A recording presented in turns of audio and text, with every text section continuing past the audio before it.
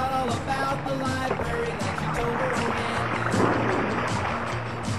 with the radio blasting, goes cruising just as fast as she